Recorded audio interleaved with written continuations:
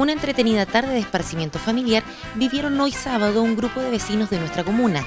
Niños y adultos disfrutaron del tradicional espectáculo del circo gracias a la invitación de los tachuelas. Yo creo que una muy buena invitación para los niños, los jóvenes, para los papás, las mamás, venir al Circo Los Tachuelas, este gran Circo Los Tachuelas.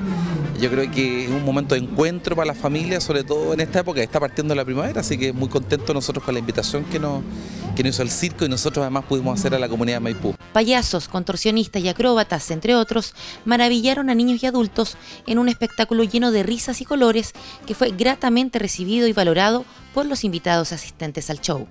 ¿Qué parecen estas iniciativas que hace el municipio? Me parece fantástico para poder venir con, en familia, es una buena oportunidad, que a veces uno no está todos los días con la familia en la casa y un fin de semana es maravilloso. Y más que el municipio se acuerda de nosotros también de darles una entradita para poder venir.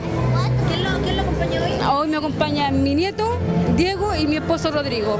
Me parece súper bueno que incentiven eh, que las familias vengan a ver los espectáculos eh, de manera juntos, compartir con los niños y ver un poco la cultura chilena también que para que no se pierda.